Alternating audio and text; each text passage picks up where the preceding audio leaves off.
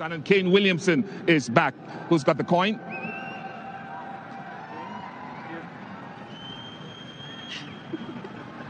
Head. Pakistan have won the toss. Babar, what are you going to do and why? Uh, we have a bowling first uh, because of little bit motion on, the pitch. So yeah, uh, we will bowl- bowling first. The bowling has, has looked a lot better, better in the last two games. What do you attribute that to? Uh, yes, uh, we have a, a, a good bowling in last two matches, and uh, we are trying to hit the lands and uh, uh, uh, execute our plans. Any changes in your lineup for today, Babar? Uh, yes, we have a one change. Uh, Usama Mir is not playing. Hassan is uh, Hassan Ali is playing. Kane having to set things up with the bat here. How do you feel? Yeah, um, you know, it's a slightly different looking surface to um, what we expect here. So, um, got the bat in hand first up and try and post a, a competitive target and, and adapt to the conditions in front of us. And what has your personal preparations been like since the injured hand?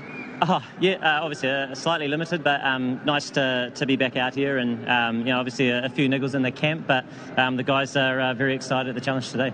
With all those niggles and you coming back, what are the changes to your unit? Yeah, so we have uh, two changes. So, um, Ish Sodhi comes in for Matt Henry, and I come in for.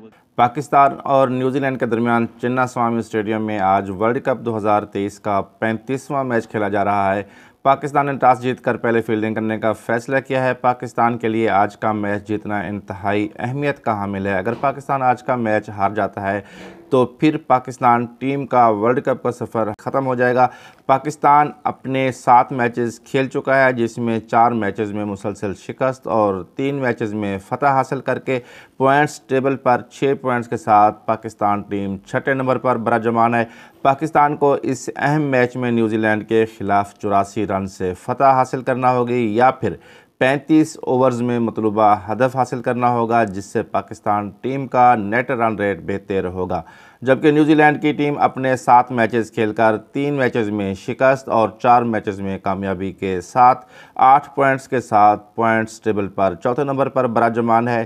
Semi final کی دوڑ میں ان رہنے کے لیے دونوں ٹیموں کے لیے آج کا میچ جیتنا اہمیت کا، انتہائی اہمیت کا حامل ہے۔